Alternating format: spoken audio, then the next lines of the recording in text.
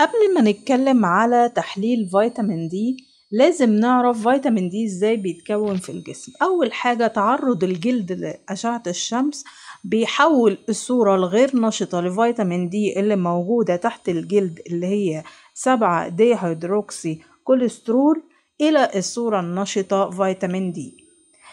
فيتامين D بيروح يتخزن في الكبد. في صورة بتسمى 25 hydroxy فيتامين D وكمان الأكل اللي إحنا بناكله اللي فيه فيتامين D 3 بيروح يتخزن في هذه الصورة سواء فيتامين D 3 أو فيتامين D 2 في الكبد. بعد كده تبدأ الكلى إن هي تحول لنا ال 25 hydroxy فيتامين D إلى الصورة النشطة واحد وخمسة وعشرين hydroxy vitamin D المعدلات الطبيعية لفيتامين دي اللي بيتقاس في حاجتين من آه الفيتامين دي ال active form الواحد خمسة وعشرين hydroxy calciferol آه وال 25 hydroxy vitamin D دول اللي نقدر نقيسهم في الدم. طيب تعال نشوف المعدلات الطبيعية. أول حاجة آه لما يكون فيتامين دي أقل من خمسين يبقى في نقص. ولما يكون من خمسين لأربعة وسبعين يعني نقص طفيف لفيتامين دي. ال normal بقى بيكون من خمسة وسبعين لمية طيب لو زاد عن معدل المية لغاية ميتين وخمسين يبقى ده في زيادة في معدل فيتامين دي.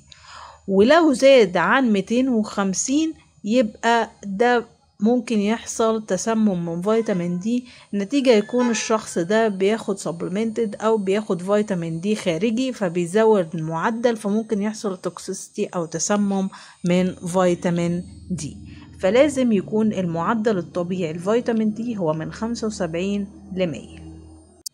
يا ترى إمتى أحلل فيتامين دي؟ لو عندي مشاكل في العظم أو إن العظم بتاعي ضعيف أو عندي مشكلة في امتصاص الكالسيوم آه والفوسفورس في الجسم. أو عندي مشكلة في آه هرمون ال parathyroid أو عندي آه أو أنا عايزة أشوف تأثير ال parathyroid hormone okay على فيتامين دي هل هو في الصورة النشطة ولا الغير النشطة. كمان لو عايز أعمل screening test يعني بشوف تحليل عام خاصة ده بيطلبوه المرضى اللي عندهم هشاشة عظام فبيفضل إن إحنا نعمل لهم تحليل فيتامين دي. يا ترى إيه هي أعراض نقص فيتامين دي؟ أول حاجة إن الجلد بيكون شاحب بيكون فيه هالات سودة تحت العين آه عندي طبعا نقص في المناعة فبيكون دايما عرضة ان يحصل الإنفلونزا الموسمية وكمان الكحة. عندي وهن في العضلات عندي مشكلة في ال joints أو المفاصل ودايما عندي ضعف. آه كمان فقدان للشهية في ألم أسفل الظهر. ال mood دايما متغير وكمان في تغيير في النوم آه بصورة كبيرة. كمان إحساس دايما بالوهن والضعف وده بيكون الأعراض لنقص فيتامين دي.